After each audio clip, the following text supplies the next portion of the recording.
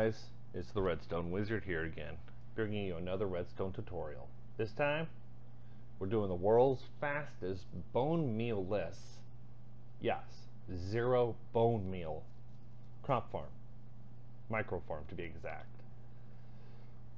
Yep, here it is.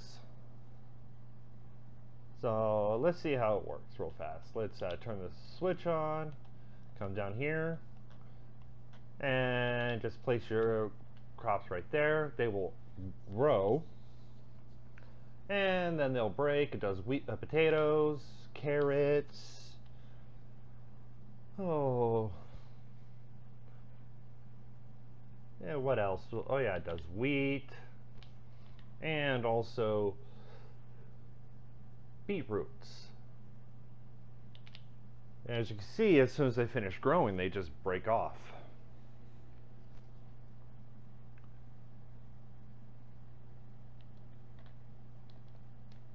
So we gotta wait for that to pulse and then turn it off.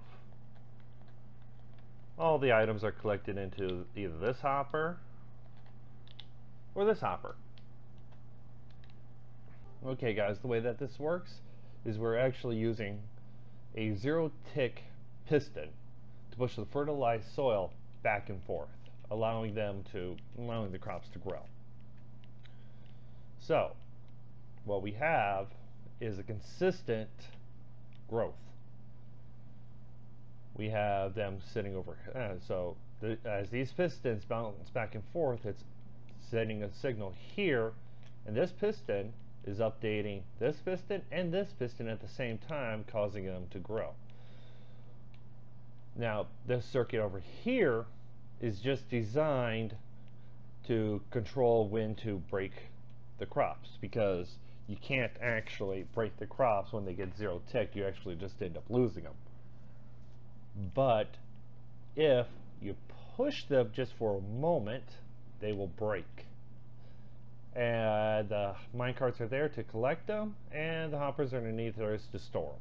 So you take these, put them into whatever storage unit you feel like. So let's gather up all the stuff and build it. Okay guys, I got everything we need right in the shulker box.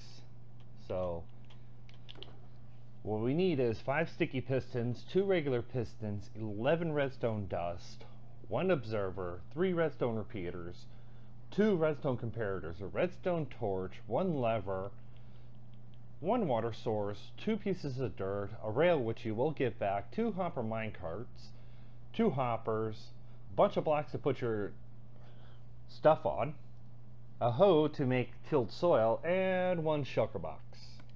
So let's get all this stuff out. Nice shulker box break. Alright, so now first thing we need to do is we need to create the zero tick. So we'll take two blocks, place them up on top of each other, place your torches on the side, and your lever, and activate it. We don't want them running right now. Block there, block there, we'll go a block up, we'll break that, block up, break that. Then get your sticky pistons, one not there, one there, and one there. Get your regular pistons, one underneath, and another underneath. And we'll place a block there, get our dust, and dust there, dust there, dust there, dust there. that right there creates zero tick. That's the circuit. That's the counter. That's what's controlling everything else. This is your control circuit. So come back to the other side. On the back other side of this piston, place a block there. Uh, place your sticky piston and sticky piston. Get your dirt blocks, place and place. We can till those right now and get our water source and place it right there so those can be so those can become hydrated. We'll place a hopper there and hopper there. Now, we'll go up two blocks. We don't need the block there. We're going to temporarily leave the block there. Get your shulker box, place it here, get your rail, and place it on there with your minecart. Place it, break, open the shulker box, close it, break the shulker box. We don't need that there. We don't, in fact, we'll don't need that one there. And then go to the other side, place your rail, minecart, break, open, break, break. There we go. So now we'll, you can leave it, oh, you can have that one full or leave it open, doesn't matter. But get your one observer, place it here. We need a block here and a block up. We don't need the block there. Get your get your repeaters. In fact, let's get the rest of the stuff we need for this. Repeaters. And there we go. Now we need this repeater on at least two ticks delay. We don't need more than two ticks on this anyway, so 6 by 6 with one going up with the repeater going there. Don't need, oh, we need uh, dust right there, there, and there. Comparator going into the block, comparator coming out of the block. Now this is where it gets interesting. We place a sticky piston with a block right there. I'm just going to make a path for the redstone.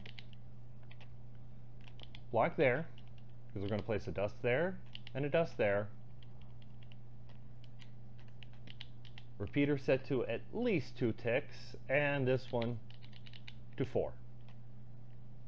And there we go. Now to make sure it works, let's just let the, uh, we can just continue, we can run this. Let me get some potatoes. And, oh, I forgot one of the most important things, so let's turn it off real fast. We're not updating these pistons, so we need to place a block there, a block there, dust on top of those. There we go. That is done. Because now, if you see, these pistons are moving. So if I double tap here, it starts to grow. They're getting grown by zero ticks. And every time they get an update, this observer powers this pulse extender which keeps this piston out until it's done and then this goes and then they break and pulse again causing a slight delay. So if you're sitting here just growing them you can stand up here grow them all you want. Underneath the observer you can place the water. Doesn't matter where you place the water. But as you can see, they're growing, and pulses, breaks, goes into the hoppers. Central storage, wait a few moments after the last one grows to allow those to pulse so that this part can see, uh, so this part can stay sealed. Nothing's going to get damaged if it doesn't. I just like the look of it when it's sealed.